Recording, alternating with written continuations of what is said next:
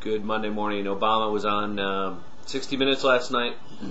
Again, he's full court pressing the public on these uh, plans and trying to get confidence levels up. The confidence game continues. It is nothing more than a confidence game right now, as uh, we really haven't had too much more news besides the AIG diversion.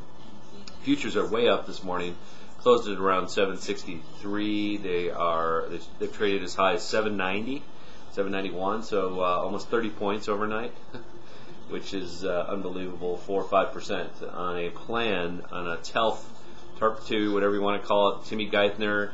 This is the same guy that was involved with the same plan back when Paulson was uh, the uh, Treasury head. So there's nothing new here uh, in this plan. They want to they want to. Uh, he thinks he can somehow figure out the gap that's uh, out there between the uh, toxic assets and the banks. That is the you know the mark to market says it's worth 60 cents on the dollar, and the market says it's worth 20 cents on the dollar.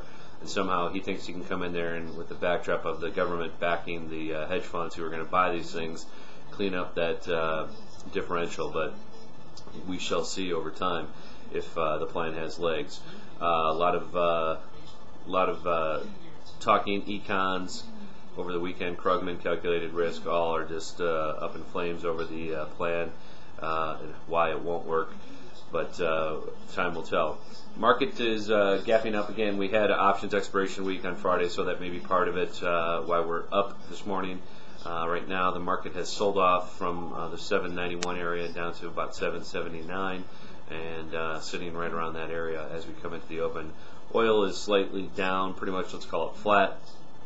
And again, uh, we'll, we'll see where this market goes. It's the end of the month uh, this month, and uh, I believe they do want to get them green for the month. I think they need to hold about 730, 740, that area on the SPOOs to uh, be green. So as we sit here, we are green for the month, and I'm sure they want to uh, continue that run.